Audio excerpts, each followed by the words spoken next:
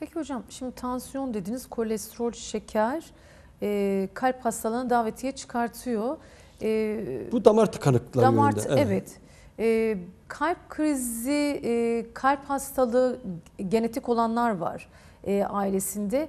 E, kendinde belirti anlamında verebilirler mi? Gizli kalp diye de bir şey var mı diye izleyicilerimiz Yani şöyle soruyor. gizli kalp dediğimiz diye aslında gizli kalp diye bir şey yok. Aslında kalp hastalığı ya var. da farkında olmadan ama ya- farkında olmuyor. Evet. Ee, şimdi tabii burada genetik faktörler saydınız. Önemli hakikaten böyle %50-60 oranında etkilidir. Yani kendinize ne kadar da iyi baksanız ee, kalp e, ailenizde var ise bu damar tıkanıklığı, ateroskleroz dediğimiz bu damarları tıkayan olay ee, ne kadar baksanız da kendinizde olabilir. Olabilir ama bunu hızlandıran özellikle genç yaşlara da olmasını sebep olan iki tane önemli şey vardır. Bir tanesi sigara, İkincisi de obezite ve diyabet.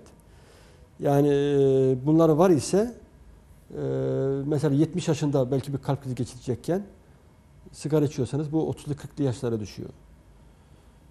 Yani şeker hastalığınız mesela erken yaşta işte obezite başladı, erken yaşta şeker hastalığına yakalandıysanız 70 yaşında damarın tıkanacakken 40 yaşında tıkanıyor.